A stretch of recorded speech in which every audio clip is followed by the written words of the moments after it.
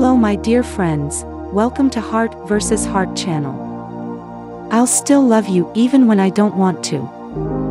Most people give up when it stops being fun. They go and look for something else to fill a void.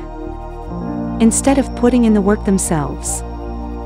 In my opinion, that's weak. I would never do that to you. I didn't choose you because I knew I could live with you. I chose you because I can't live without you. I made the mistake of assuming our connection would be some magical fairy tale. Because it's so deep and spiritual. If you don't forget, then write in the comments about how your day went, I will definitely read it. Thanks for watching guys, don't forget like and subscribe channel.